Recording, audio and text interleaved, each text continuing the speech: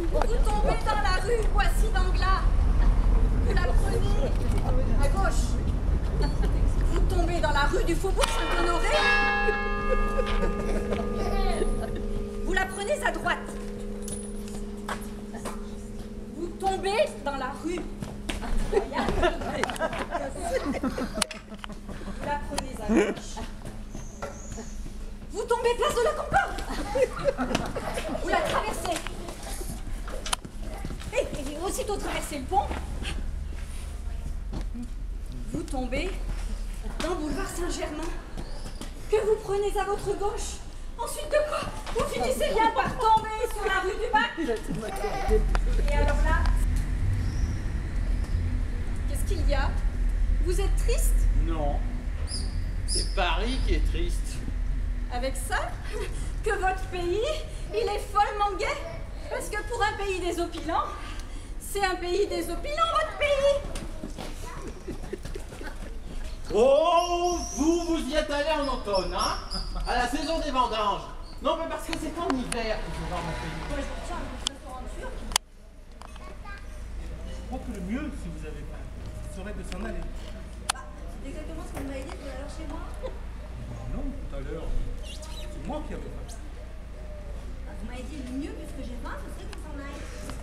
Pas ma faute si chez vous, il n'y a rien à manger. Bah, on est parti, résultat. Résultat, je n'ai plus faim. C'est un résultat. eh ben, c'est moi qui commence à avoir faim à cette heure-ci. Drelin, drelin Bah, pourquoi vous faites drelin, drelin C'est vous qui m'avez appris le truc. Le jour où la sonnette ne marchait pas, vous avez fait drelin, drelin Vous n'avez pas un problème aux oreilles, vous m'entendez, monsieur? Vous m'entendez là? Eh ben, mais bien joli. Et là, vous m'entendez? Toujours pas. Bon, il faudra que vous voyiez absolument un cardiologue pour vos oreilles, vous. hein. Parce que là, sinon. C'est véritable, tout à l'heure. Et vous, madame? La soirée se passe bien Oh là là. Complètement muette.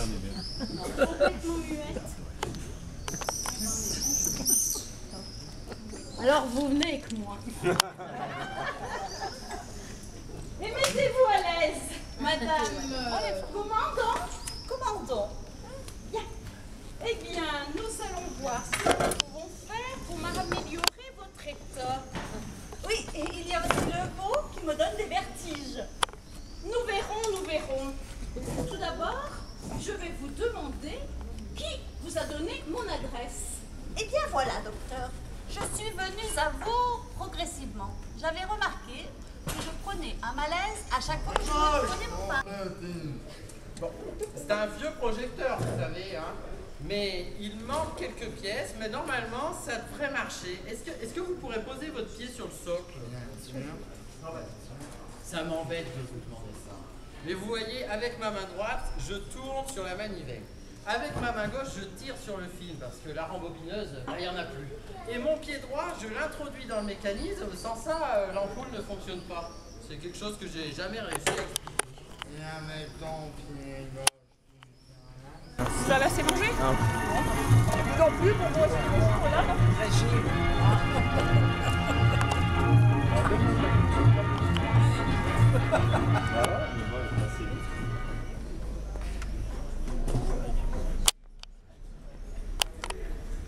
Eh bien, je vous ai dit cent fois que le dos était juste devant les deux petites notes noires.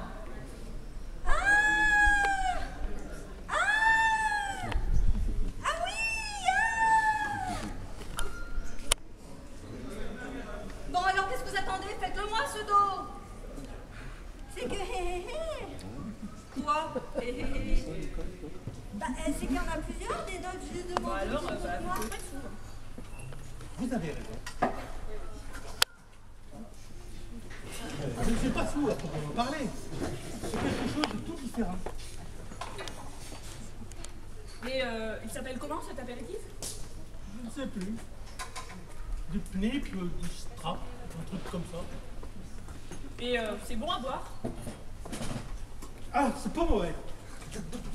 Ça n'a absolument aucun goût. Ça rappelle un peu l'eau. Vous savez l'eau du robinet Ils disent.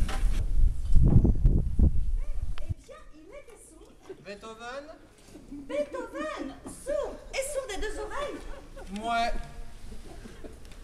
Ouais. C'est tout de même pas avec ses oreilles qu'il écrivait, hein Non. Beethoven. Beethoven. Parce qu'il écrivait comme tout le monde, Beethoven, avec ses doigts. Donc c'est pas parce qu'il était sourd qu'il ne pouvait pas écrire. Non, j'ai pas dit ça. Eh ben, vous ne pouvez pas dire ça. Quoi ça? Eh bien, ce que vous dites. Quoi Il n'était pas sourd Beethoven? Bah, si. Eh bien, Mais ce n'est pas ce qui l'empêchait d'écrire. eh bien justement, c'est ça qui est extraordinaire. Extraordinaire? Mais moi, ma pauvre amie, moi qui vous parle, quand il faut que j'écrive, vous savez ce que je fais? Non. Je me bouche les oreilles pour ne pas entendre le raffut et